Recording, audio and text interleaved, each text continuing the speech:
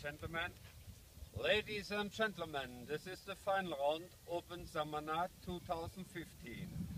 The first round 70, second round 74.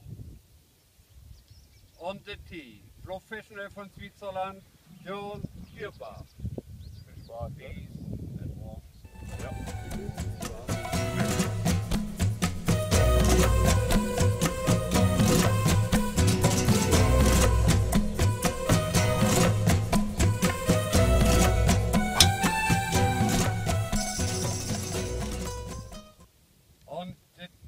First round 73, second round 71. On the tee, Professional von Switzerland, Benjamin Rusch.